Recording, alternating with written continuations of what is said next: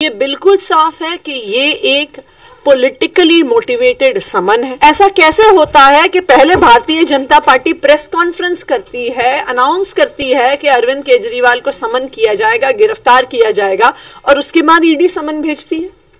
ऐसा कैसे होता है कि भारतीय जनता पार्टी के नेताओं के घर पे करोड़ों रुपए कैश मिलता है, लेकिन ईडी कभी नहीं बुलाती।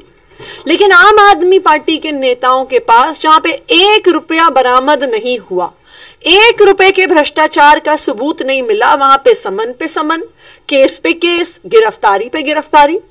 तो ये बिल्कुल साफ़ है कि इस समन का किसी भी इन्वेस्टिगेशन से कोई लेना देना नहीं है। ये एक राजनीतिक साजिश है। आने वाले लोकसभा चुनाव में विपक्ष का जो इंडिया गठबंधन बना है, उस पर हमला करने की एक साजिश है। लेकिन आम आदमी पार्टी, भारतीय जनता पार्टी की ईडी और सीबीआई की धमकियों से डरने वाली नहीं है। हम जाँच में सहयोग करने को शत प्रतिशत तैयार हैं। हर चिट्ठी में अरविंद केजरीवाल जी ने लिखा है कि अगर ईडी के कोई सवाल हैं तो वो क्वेश्चन बना के भेज दें। ऐसा क्या सवाल है ईडी का, जो कागज़ पे लिख के नहीं भेज सकते हैं? इसलिए ये बिल्कुल क्लियर है, ये बिल्कुल स्पष्ट है कि ये अरविंद केजरीवाल जी को गिरफ़्तार करने की साजिश है। लोकसभा चुनाव से जस्ट पहले गिरफ़्तार करने की साजिश है कि वो आने वाले चुनाव में प्रचार ना कर सके और इंडिया गठबंधन तेज़ी से आगे ना बढ़ सके। बिल्कुल साफ़ है, जो विपक्ष का नेता अपनी पार्टी छोड़ के भारतीय जनता पार्टी में चला जाएगा, उस पर सारे केस खत्म हो जाते हैं। चाहे हेमंत बिस्व शर्मा हो, चाहे शुभेंदु अधिकारी हो, चाहे पेमा खांडू हो, और अभी कुछ ही दिन पहले छगन भुजबल जिसके भ्रष्टाचार पे तो भारतीय जनता पार्टी ने पूरा कैंपेन चलाया।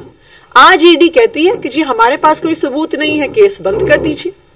तो अगर कोई विपक्ष का नेता भारतीय जनता पार्टी में चला जाए, भारतीय जनता पार्टी की वॉशिंग मशीन से धुल जाए तो फिर उन पर ईडी सीबीआई का कोई केस नहीं होगा। लेकिन अगर कोई भारतीय जनता पार्टी का विरोध करेगा, उनके खिलाफ चुनाव लड़ेगा तो उनको ईडी और सीबीआई से धमकाने की कोशिश की जाएगी।